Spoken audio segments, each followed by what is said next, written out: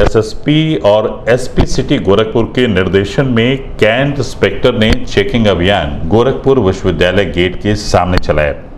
Cantt inspector के साथ चौकी इंचार्ज विश्वविद्यालय बदरुद्दीन भी मौजूद रहे।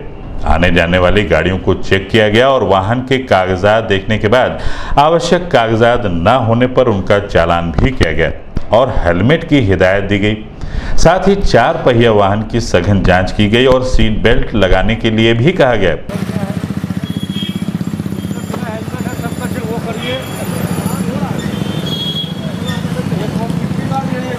है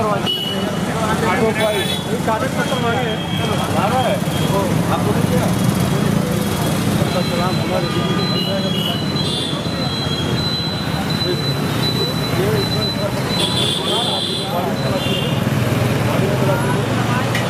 बॉडी तलाशी नहीं ले रहा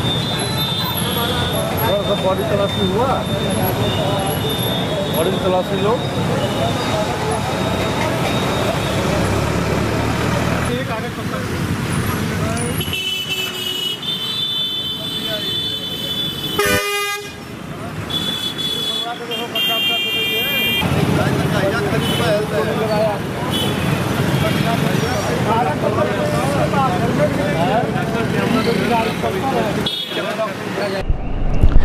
इस बारे में हमारे सिटी वन संवाददाता से बात करते हुए एसएसपी डॉक्टर सुनील गुप्ता ने कहा।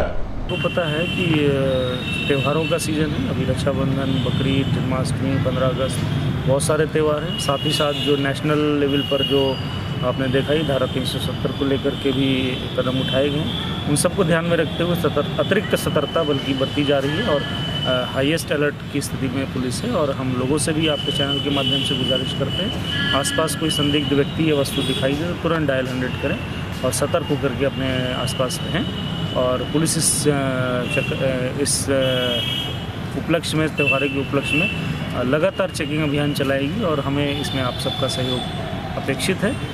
सुबह जैसे हमने आज भी रेलवे स्टेशन बस अड्डों को आकस्मिक रूप से चेक किया। बम डिस्पोजल स्क्वाड वगैरह के साथ चेक किया, हवालात चेक की।